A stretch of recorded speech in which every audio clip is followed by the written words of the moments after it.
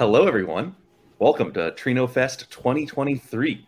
Uh, my name is Cole Bowden. I'm joined here by Manfred Moser. We'll be your host for this event. We're excited to have all of you. So, two day event, breaking the content up into two different days so that you can watch all of it without getting too tired, which we think is going to make a better experience. And we've got a really awesome lineup of talks for you. Uh, we think you're going to be able to learn a lot about what's going on in the Trino ecosystem best practices for using it. And of course, we've got our focus. It's the Data Lakehouse Summer Camp. So we'll be hearing all about all of the lake houses in Trino. Manfred, how excited are you? Um, a lot more excited than you. This is awesome. Like, you know, Commander Bun Bun is going to join us and he is sitting on our shoulder, obviously. Um, and um, the talks are just amazing. Like when we got uh, all the proposals and stuff, there were so many interesting things to to share with you all. I'm really looking forward to the next two days. Obviously, we know a little bit more than you all, but stay tuned. You saw on the agenda, really cool stuff is coming, and we're gonna start it all off with the keynote from Martin that we've been working hard to pull together. Um, pretty impressive numbers, all very exciting, don't you think? Yeah, I think it's it's always fun to give that community update of what's been going on in Trino. Uh, it always seems like there's so much development happening. Uh, there's a couple slides in that keynote deck that I'm personally a big fan of that I think are, are pretty funny. So uh, yeah, yeah, no, it's it's that. Yeah, it's it's really good to see what's going on, and and uh, we like sharing it, obviously, right? Like you and me are very closely involved with the releases and like hanging on Slack, answering questions and stuff day in day out. Um, obviously, a very different perspective for people that just use Trino out there in the real world and having real experiences and and headaches with it and and successes and uh, coming here to celebrate that with them is really excellent and um, I'm really looking forward to it. Um, what we also have to talk about is how do we actually make this happen today?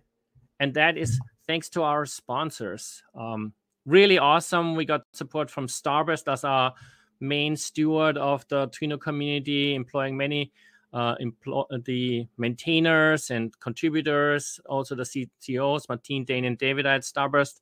Very excellent. But also, um, we got uh, our sponsors Alluxio and AWS joining us as well, major contributors and uh, members of the Trino community beyond Starburst. Uh, as you know, many others will join us today in the presentations. As you know, AWS a very common platform for running Trino on EKS or even uh, Amazon Athena. Uh, Alluxio, a caching engine that uh, allows us to run Trino even faster that you'll uh, see a presentation later on today. So, and of course, Starburst also offering Starburst Enterprise and Starburst Galaxy. Everyone is very involved in the Trino community and really pulling together and working together, making Trino a better and better project. And Martin is going to show us in the keynote what some of those advances are. Yeah, and I think our lineup is awesome. Uh, there's so many different talks from a really diverse array of things. Uh, I want to welcome everyone once again. I really like in the chat we have people introducing where they're from. I've seen India, Colombia, uh, England, so we're, we're all over the world already with just a few. So everyone say hi if you want. We're going to be monitoring the chat. Uh, a lot of our speakers for this day are going to be in the chat as well, able to answer any questions you may have. So feel free to be active, ask away. There's going to be lots of people with lots of information and knowledge ready and eager to help you out. So feel free to be all over the place and talk because that's what it's there for. So yeah, I really love the uh, like international distribution, as we know, obviously from the website and and how the traffic hits Trino and where downloads are coming from. We are all over the world, right? Like China, India, very big communities there. We had last time uh, people from Singapore join us, and obviously Europe and North America is very big. But also saw South America entrances and stuff like that. So it's really good to see Trino like flourish all across the world, and we we love having you all. It's awesome, and let's get this show off the ground and make it a huge success. Yeah, so with that said, I think we're about ready to kick it over to Martin for our keynote. He's going to be giving us a talk about the state of Trino, everything that has happened within the last six months since Trino Summit in November, and also a bit of a highlight of the roadmap of what's to come. Uh, so you'll see a lot of the things that were on that Trino Summit roadmap. We're going to get to report that we've made progress on those things, and now there's new things that we're going to be working on in Trino. It's always improving, always getting better. You'll get to hear about all of the releases, performance improvements, big features and changes that have made it the best query engine out there. So.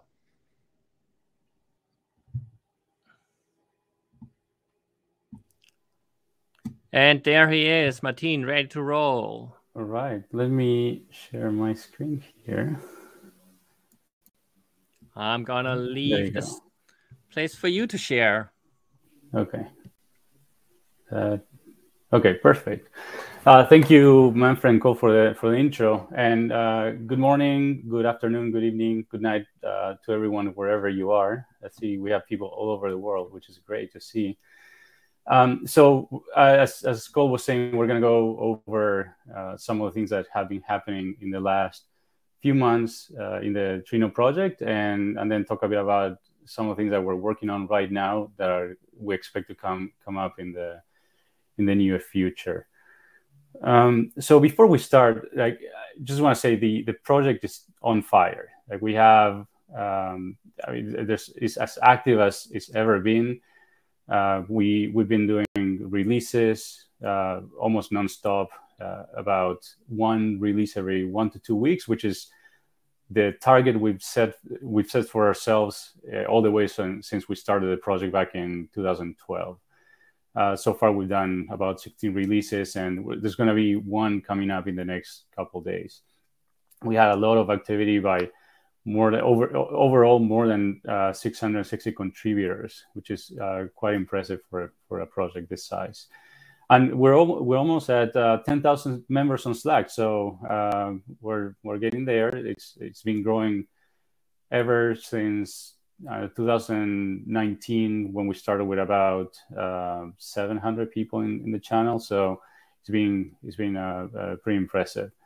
And it's growing about uh, we're, we're adding about 10 people per per day which is kind of impressive. It's, it's, it's good to see all these new people join the, the community. And at this point we know of about more than 20,000 people that are involved in, in the project in some way uh, across more than uh, 1800 companies so one of the things we've been looking at uh, we, we've been tracking the, in the last few months is the ranking of Trino in the DB, DB Engines ranking. This is a, is a, a ranking uh, maintained by, I think some university that they try to look at the popularity of a project across various metrics, like in social media, in documentation, and and uh, basically how, how, how popular the project is across across the internet. And Trino has been growing pretty quickly. It's like in the last year, it went from position 96 to 69 and uh, this includes every other project out there you, you can see. So you, you can go and check that out at some point. Um, and of course, like the number of uh, one, one of the metrics we look at is how how how many people run into the Trino project through GitHub and how many stars we get on GitHub. Uh, the, the, stars end up driving how how GitHub promotes the, those projects and and that that has been growing also pretty significantly. So we're over 8,000 stars right now. If you haven't given a, given the project a star and you like the project, please go and do so. Uh, we we also would like to welcome a couple new maintainers to the to the team. We have a, a about uh, 14, 15 maintainers uh, nowadays. Uh, so in the last few months, we added James Petty. He's an engineer from uh, that works at Amazon. He's been working on uh, Athena and EMR for the last, I don't know, I don't know how many years, but he's been involved in Trino uh, for at least five years. So he's he, he, has a lot of experience in, in the project in the community. So he just joined as a, as a, new maintainer. And then Manfred, which uh, who you already you already know, he also joined as a maintainer. He's one of the people involved in the developers relations team at Starburst. And he's very very active in the community very active with uh, outreach to users um, contributors.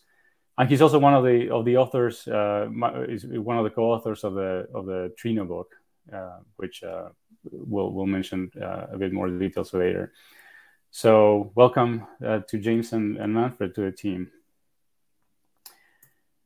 all right let's talk a bit about what happened in the last about six months. Uh, so we, we gave an update at the Trino Summit uh, that we did here in in, in San Francisco in, in 2022. And we're going to cover a little bit of uh, the things that, that took place in, in the months in between.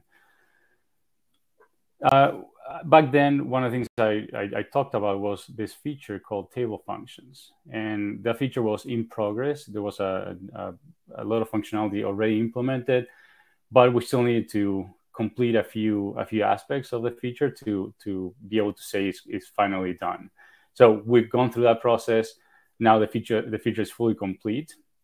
And uh, specifically, one of the things that was missing is the ability to to take to, to have uh, functions that take complex queries as inputs. So uh, once once we added that, that opened the door to a number of uh, uh new functions and, and, and utilities that, that, that can be very helpful. For example, this this is something that we implemented a couple months ago that is can be very useful. It's something that we've we've heard uh, uh, requests for many many times.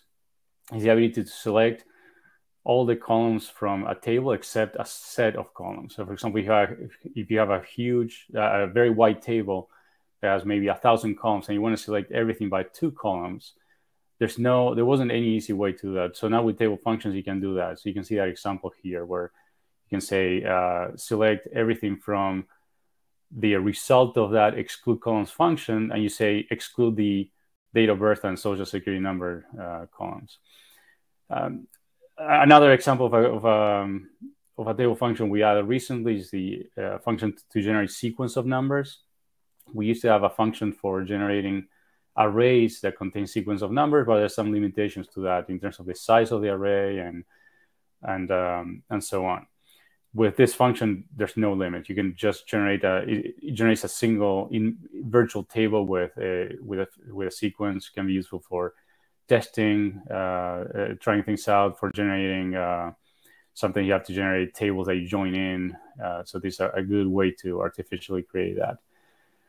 So in general, table the table functions have opened up the door to a lot of very complex uh, functionality and, and, and utilities. So we, we expect this to keep keep uh, improving over the next, or we expect more more occurrences of or implementation of these of, of new functions uh, to happen over the next next uh, uh foreseeable future.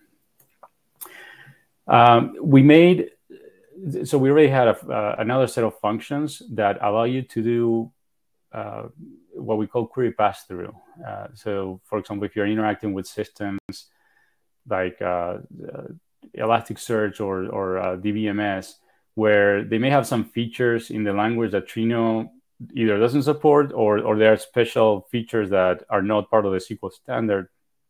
Uh, previously, there was no way of, of taking advantage of that. So with query pass through, you're able to submit a query to the underlying system and then uh, have Trino process the results of that query and, and, and so on. So that's modeled through through this set, set of functions that we call query or raw query in some in some connectors. Um, we already had that. We just kept improving it for some connectors. We added support for Elasticsearch and so on. And then we added a function called procedure, which allows you, is similar, but it allows you to execute sort, store procedures in SQL Server. So this can be useful if you already have uh, some uh, um, code inside your database that you want to be able to take advantage of. All right. So another area that has seen um, some improvements is the fault tolerant execution support. We added this feature. Uh, well, we, we worked on it about a couple years ago. We we ended up uh, rolling it out last year, and then over the over the last few months, we've been improving it and basically making it easier to use, more performant. Uh, we added support for using HDFS as, a, as the exchange spooling, which is um, if, if you're not running on, on a cloud environment where you have object storage, uh, this can be useful for you. Uh, you can now start using this feature by, by running on, on top of HDFS as the exchange. And of course, we add support for multiple connectors. This being able to take advantage of this feature requires some changes in connectors because in the presence of retries, the the connector had to guarantee that it's not going to duplicate data, it's going to not going to lose data, and so on. So uh, we retrofitted uh, uh, many of the connectors to be able to take advantage of of this uh, functionality. So if you haven't tried it, uh, I, I, encourage you to take, take a look, uh, give it a try. It's actually a pretty cool feature. All right. So when when we're trying to, when, when we're coming up with the slides for this this talk, we're trying to figure out okay, what are is there a theme to the things that have been happening in the last few months? And sometimes the roadmap for the project is uh, organic. It, it, depends on what people are interested in working on, what contributors are willing to uh, to, to spend time and effort on. So sometimes it's hard to come up with okay, this is a specific area that has been people have been focusing on. But uh, so when looking at everything that happened, we we observe that there's there's um, an entire area where it has been a quite significant activity, and has this has been around supporting the lakehouse ecosystem better. Um, there are once you start running Trino on a, on a lake house, it's not just running queries. It's like, okay, how do you ma- manage your data? How do you manage evolution of your data? How do you uh, make sense of what's going on in the system? How do you better integrate with all the third party um, systems that are out there? So we we end up uh, working collectively on a set of features to facilitate the uh, data management and evolution of, of, of, data warehouse. This is uh, these are production to support production cases where you have tables and and then over time those tables need to evolve by, by changing data types of columns, uh, uh changing names of columns, adding columns, removing columns, and and it, how you do it with without breaking your uh, your queries, without breaking your your production workloads, that's that's those are some of the challenges, and what tools can you use to do that. And so now we have a, a number of features that that make it easier to uh, to perform those changes. And then we added, in terms of compa- compatibility, we added support for a uh, number of different catalogs in Iceberg, which uh, uh, seem to be quite popular in, in the wild.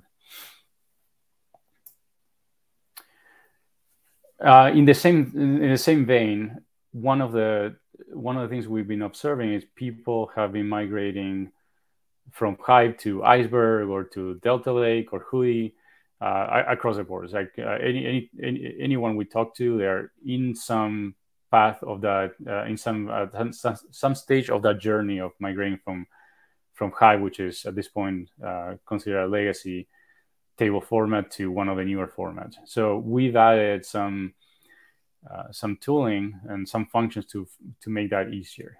Uh, there's a, a, a, function we added called migrate, which allows you to very easily, uh, uh if you have a, a, table in Hive, you can very easily convert it to an Iceberg table. It just registers the metadata for that table and makes it visible in an Iceberg catalog. So you don't have to. Uh, you, you can do all of this within from within Trino. And then we have other another set of functions for registering registering and unregistering tables in uh, in a couple of the connectors. I, I think this is implemented for Iceberg and Delta Lake, and this allows you to register uh, if you have data that has the that already conforms to the data lake or or Delta Lake or Iceberg format, you can register that into into a, the, a catalog and then start querying it from within Trino.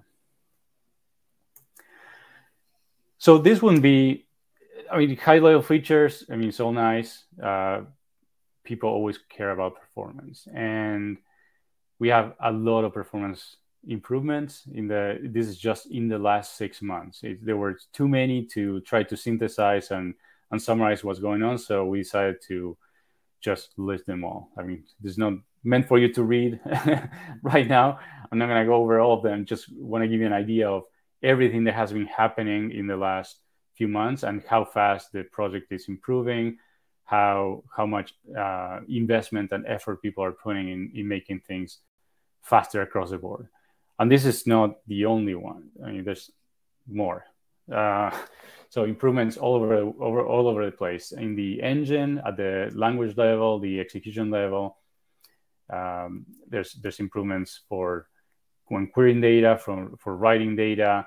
There's improvements inside connectors uh, improvements at the file format level. So it's all over the place. So if you if you're running an old version, I would I would highly recommend uh, look at the newer versions, upgrade because you're, you're going to see a number of uh, of benefits in terms of uh, performance, and of course that translates into uh, lower latency, lower CPU, and and and reduce cost when you're uh, running Trino clusters. All right. Uh, on the kind of this is kind of the, on the at the other end of the spectrum. So this is we we already we also been investing investing in um, some changes that make it easier to operate Trino, make it easier to understand what's going on with Trino, to troubleshoot, debug, and this this can be both for developers that are developing on Trino and try to and are trying to figure out how to make the system better, but also for administrators where they may get questions about what's going on with my query and and up until until now, yeah, you can look at you can run explain, explain analyze, get some idea of what's going on. Maybe if you know the system very well, you can start looking. Uh, you can go and look at the UI and try to understand all the metrics. Maybe you can look at um, some of the information that's exposed at a lower level and try to make sense of it. But that's kind of uh, very complicated, and it doesn't capture everything that one might uh, want to know about uh, what was happening with a query. So one of the things we did in the last uh, in the last couple of months, actually, this, this happened. It's been brewing for a long time, but it finally happened in the last couple of months.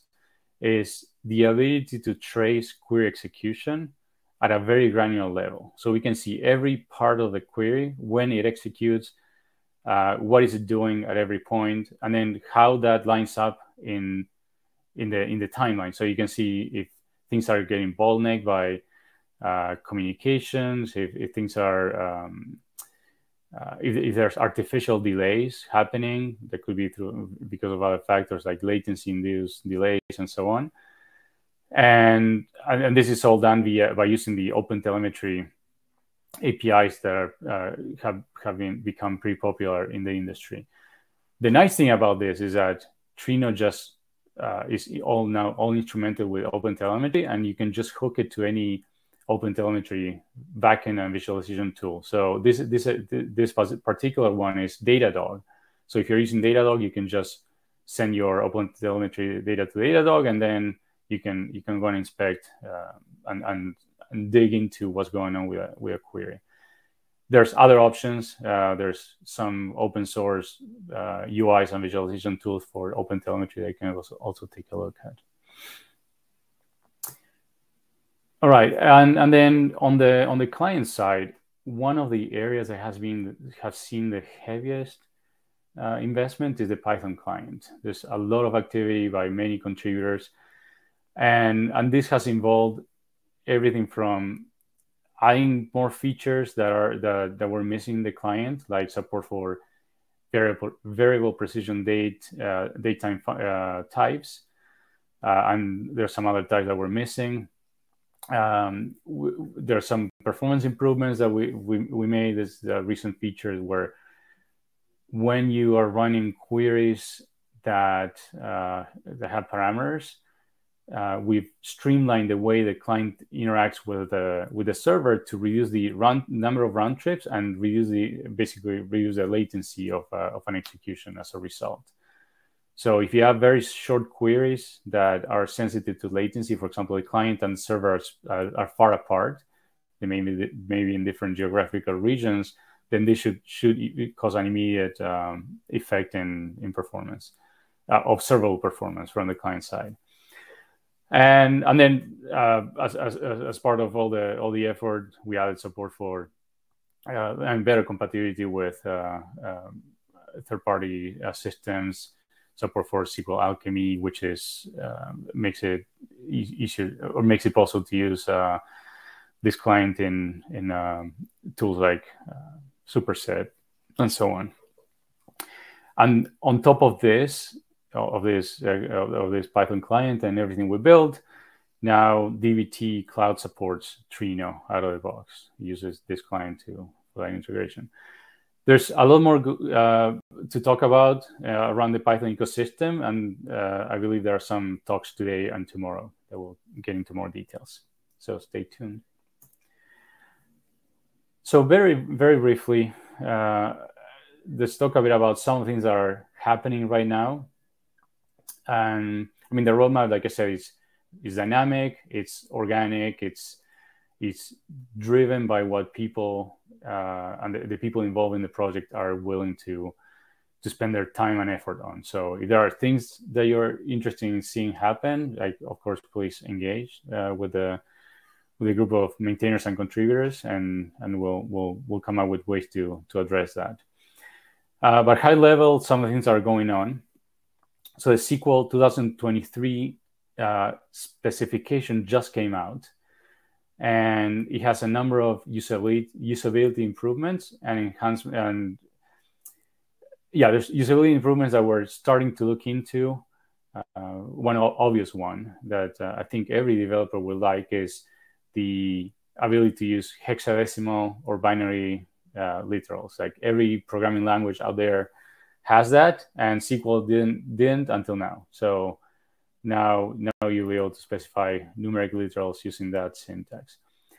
And the second one is the ability to use underscores in numbers, which is uh, if you're dealing with a lot of big numbers, having under being able to split your numbers with underscores is um, is can be can be very handy, and every language out there has that these days. So people are used to doing that, and I think it will improve the readability of of your queries if you start taking advantage of that. Those two are already merged, and they will be out in the next release. Then the spec has also um, a lot of improvements around JSON. It introduces a JSON type. We already have a JSON type in Trino, but the spec formalizes it. So we're now starting to look at, okay, what are, are there any differences between what we are doing and what the spec does? How does it relate to all the JSON functions that we added uh, recently in the last six months? So we're going to start uh, looking into that and, and hopefully implementing that compatibility in the next uh, in the next few months too. Uh, we have in progress support for the JSON table function, which is, is, is one of the remnants of the JSON support that we are working on in the last few months.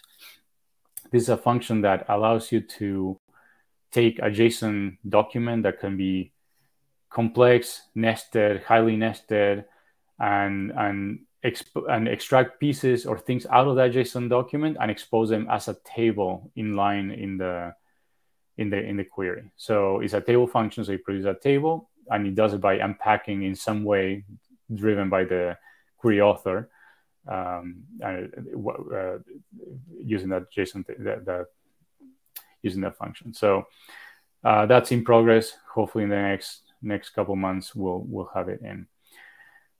Uh, we're also working on a Snowflake connector. There's uh, this a uh, an effort across multiple people from multiple companies and the code is uh, I think it's it's in pretty good shape. So we're we're in the in process of integrating it. There's a talk I think I believe it's tomorrow by uh, our friends at Bloomberg that goes in. It will go into more detail. So if you if you're interested, please uh, go go see that talk. And then finally, we are doing an, a bunch of work to get Trino ready to run on Java 21. So right now we run on Java 17. We require Java 17.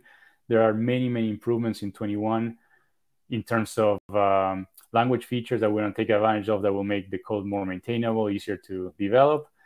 But there's also performance improvements, and there's new APIs that allow us to do a number of things that, that we need for Project Hummingbird, which is a uh, I, I, we mentioned this uh, in the last in the last summit, and we're we're gonna we're gonna talk more about this in the coming months. We're making a lot of uh, progress on that.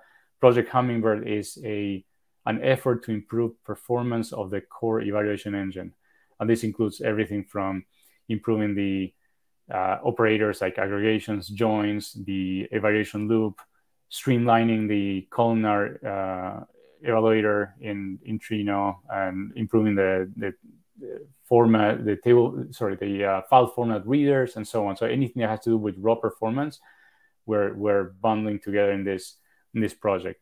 So some of the features in Java 21 are going to be the foundation to be able to pull that off. So Java 21 is coming up, coming out in September, and we want to be ready for that and, and be able to make the switch at, at that point. So stay tuned. We're gonna keep uh, talking about Project Hummingbird in the next in the next uh, few months uh, as we continue to make progress on that. All right, so if you want to learn more about uh, Trino, uh, the Trino book is always a good resource. You can download it from uh, Starburst, courtesy of Starburst for free. Uh, you can get a PDF. And we, well, recently, yeah, recently we launched the second edition, so it has many of the improvements that happened in Trino over the last year or so. And if you, if English is not your language, we have a Polish edition that just came out we we have a big community of developers and users in Poland, so um, you can look for that book uh, from O'Reilly. And there's an, an, edition in Chinese coming soon, so um, expect that if you if, if you if you're a Chinese speaker. Right, and finally, if you want to get involved in the project, always Slack is the best place to to be. Uh, all the developers uh, all the in the Trino project, all the users that are actively using Tri, uh, Trino are, are in that Slack. You can ask questions. You can find out what's going on by by engaging there. If you want to contribute with development, um, and if you're just just getting started, there's a set of issues that we tag with a good first issue tag in on GitHub uh, they're kind of a, a, easy way to get going. Like we try to to classify issues that are don't require a lot of upfront knowledge about how Trino works to be able to get going. So if you want to start getting involved, that's a good place.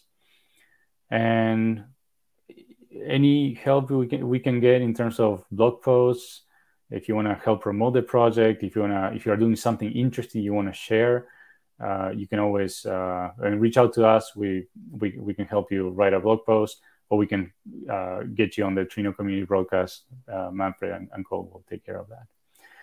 So with that, uh, thank you. And we can go to questions. We have a few minutes if anyone has any questions. That was awesome, Martin. Really good overview and amazing to see all the things that happen in the community, isn't it? And if anyone has any questions, feel free to just ask them in the chat, uh, and then we'll read them aloud, and Martin will get you an answer. Uh, there were a few during the talk, but they were helpfully answered already. So, yeah, um, it's it's great to see all the changes, and in our next sessions, we're gonna like sort of pivot quite a bit from um, the theoretical new feature sets and like what's going on to actual, actual practical experience. Our next talk will be from Salesforce, um, which will talk about anomaly detection for Salesforce production data with Trino, which is quite amazing to see that on the one hand, this has been a long-term open source project, and at the same time, big, well-known companies have been using this in production for all sorts of use cases that you wouldn't originally think about, and that's the kind of like um, innovation we love seeing because it enlightens us to you know think about new aspects right martin? Like sometimes you're like oh you can do this with trino? It's like really interesting sometimes isn't it? Yeah it's um yeah we we need um yeah we need a, uh, people to we people talk more about what they are doing. Uh, sometimes uh, what they are doing can be very educational for other people, and I mean, there's there's a lot of hidden nuggets in in what Trino can do, and and it's, it's sometimes hard to hard to find find that, that out because like either it's not well documented or people don't, don't really understand how it can be applied to their use cases. So. Yeah, there's lots of lots of corner cases, especially when it comes to like you know smaller features and and sometimes it's also interesting. Like Cole implemented a feature years ago, and we just talked about this again recently and added it to the documentation, the set path and so on. So um, I think also open telemetry will be a, a, huge boon to a lot of users where we definitely have to catch up and there'll be a lot of like deep in the detail, in the dirty details stuff happening. So really cool. Yeah. Well, we had some questions, but they were questions about where that ebook is and if we can get the slides downloaded. So I don't think we need to hassle you with those, Martin. yeah, the book the book is uh, there's a page on the website that has the links to everything. Um, for those of you that wanna like me that wanna actually hold a paperweight around and and, and and hold something in the hands when they read a book. And obviously you can get the PDF from Starburst and the international editions also very enlightening to see uh, the older version I saw in Chinese, and you write this book and then you see in a pretty different language. It's it's very interesting to see, um, and you cannot make sense of it for sure, which is quite well, fun. Thank you very much, Martin.